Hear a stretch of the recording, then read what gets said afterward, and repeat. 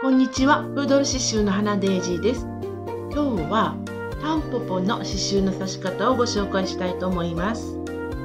Hi everyone, I'm going to show you how to embroider dandelion today. Let's get started now. はい、今日はタンポポの刺繍の刺し方です。これが図案になります。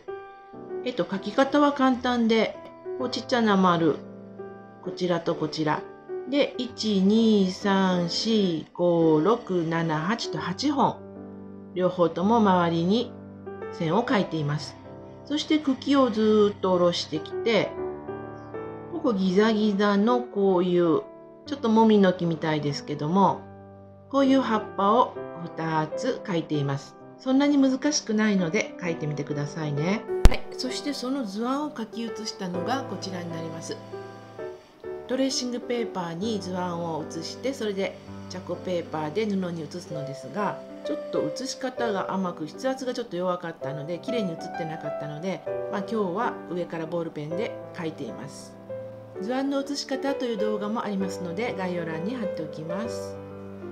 で今日はこの色ですね。タンポポの花の黄色。そして葉っぱの緑。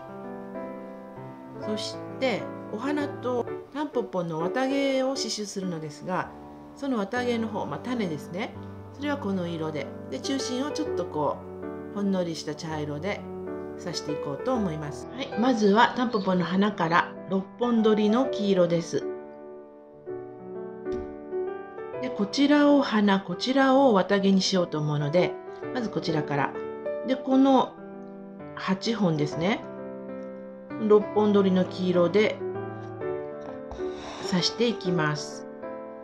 ストレートステッチです。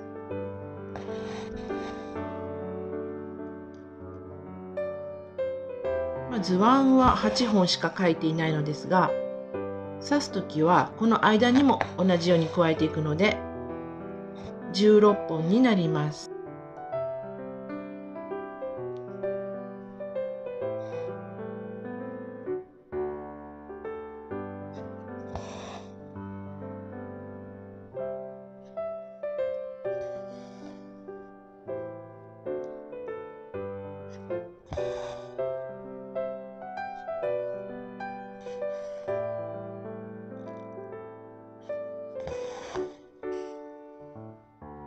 8本刺してきました。そしたらこの間にもそれぞれ同じように加えていきます。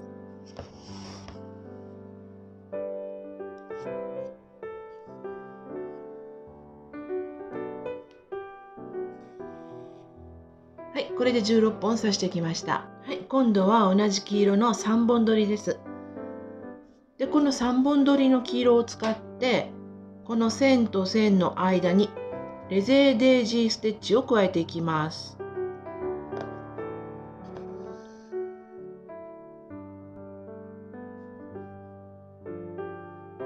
でこの間布をすくうのですがこの時にここの長さよりも少し短い場所この長さの3分の2ぐらいここら辺に針を出してきます。そして糸を引っ掛けて針を抜きます。そしてこのループになったところの外側に針を落として留めます。これがレゼーデージーステッチです。このステッチを全部の間間に入れていきます。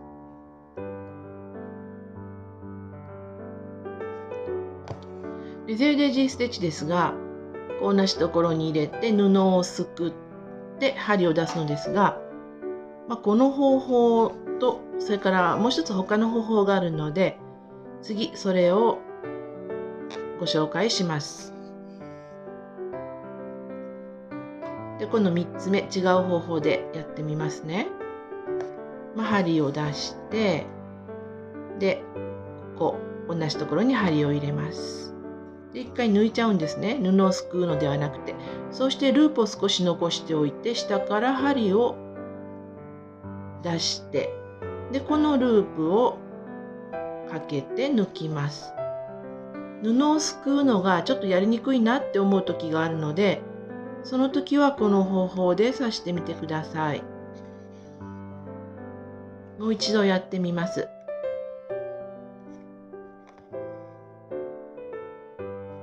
こうして針を入れて抜いてしまってその先へ針を出します。そしてループをかけてこのように糸を引きます。仕上がりは同じになるのでどちらでもやりやすい方で刺してみてください。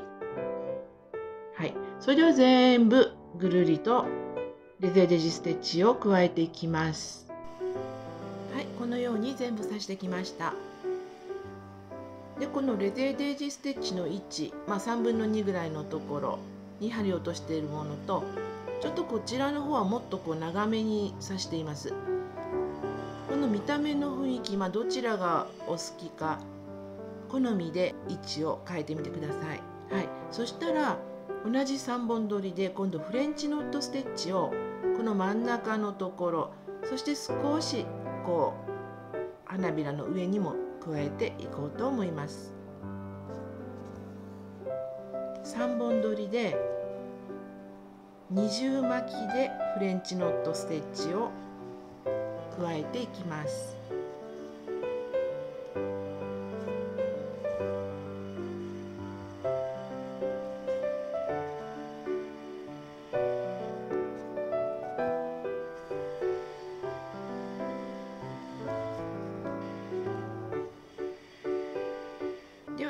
は全体に加えていきます。はい。このようにえー、と真ん中の空いてた部分ですね。埋めてきたので少しこう花びらに重なるようにいくつかもう少し加えていきます。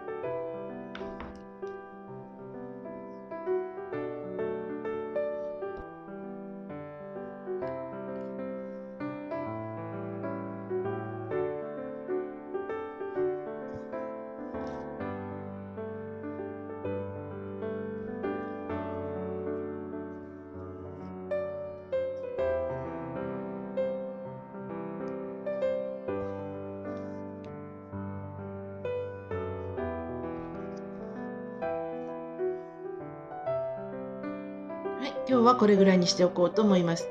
これでお花の部分ができました。どうでしょうか？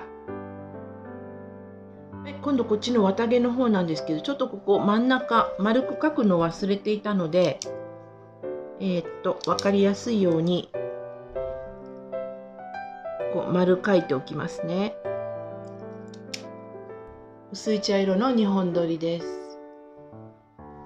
これで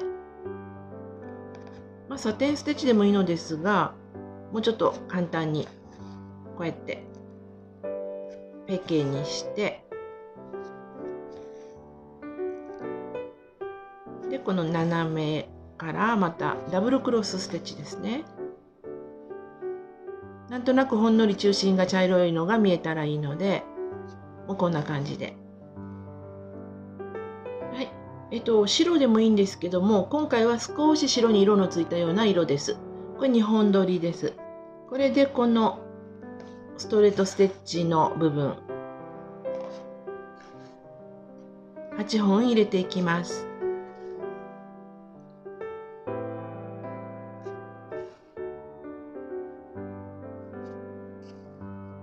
はい8本入れました、はい、今度は1本取りに変えて綿毛を刺していきます。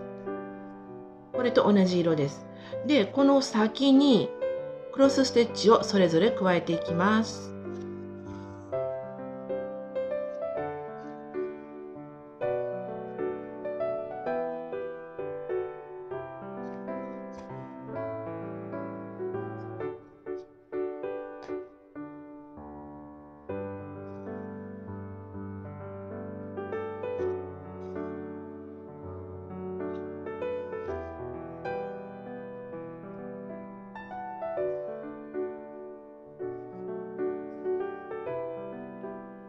クロスステッチをこの線の先に全部つけてきましたそうしたらあとはこれふわっとしたこう丸い感じなんですね。でこの中のところにこの線の上にかぶさってもいいのでランダムにどんどんとクロスステッチを加えていきます。本当に好きなところ空いているところにどんどんと自由に加えていきます。でどんどん加えていったらあこれぐらいでなんとなく綿毛の感じに見えるかなって自分でいいなと思ったところでやめてみてください。何個刺さないといけないとかいう決まりはないので好きなように刺していってみてください。様子を見ながらですね。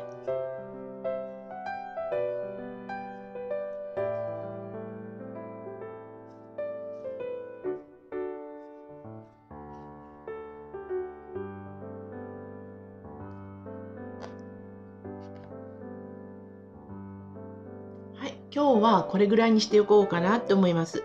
ちょっとボールペンの色が見えてしまっているのですけども、皆さんは後で水で消えるようなチャコペーパーを使ってみてください。はい。それでは次は茎の方に行こうと思います。はい、今度はグリーンの3本取りです。これを使ってアウトラインステッチで茎の方を刺していきます。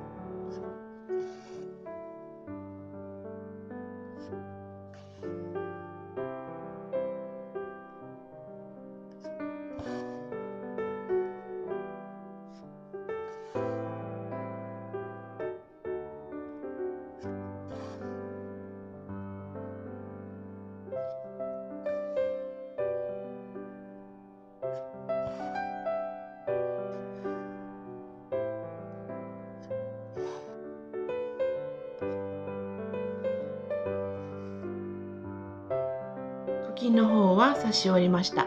そしたら今度は葉っぱなんですが細かくサテンステッチでしてもいいのですが今回はバックステッチで縁取りだけを刺していきます。ここ短いのでこうワンステッチで。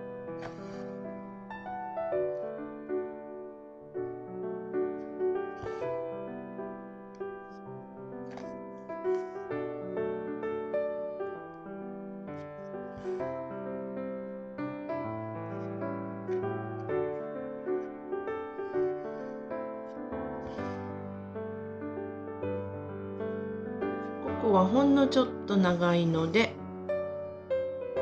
2ステッチで進めます。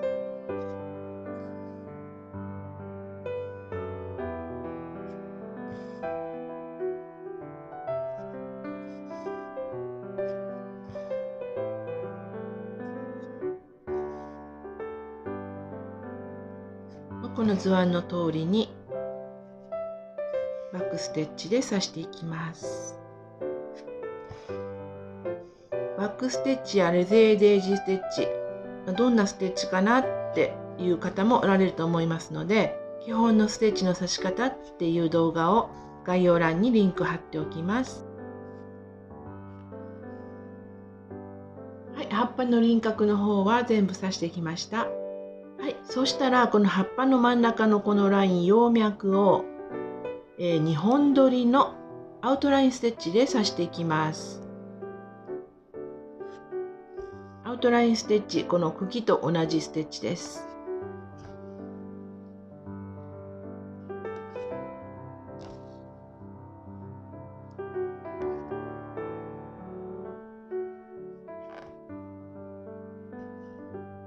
ではこちらとこちら刺していきます。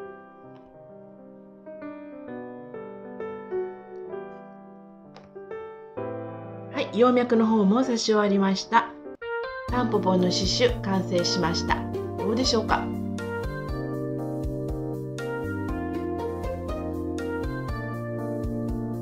とっても可愛いのでこれから入園準備の何か小物作りとかまあ、可愛らしい感じちょっとお子様向けかなとは思いますけども、まあ、大人の方でもちょっとこう可愛い巾着袋とかバッグのワンポイントとか是非活用してみてください。それでは今日の動画これで終わりにしたいと思います。ご視聴ありがとうございました。もしこの動画が少しでもいいなと思われたらいいねボタンやチャンネル登録そしてコメントなどもお気軽に残していただけたら嬉しいですそ。れではまた次回お会いしましょう。Did you like my YouTube channel? Please subscribe to my channel if you like. I'll be so happy. See you soon. Bye! それでは、さようなら。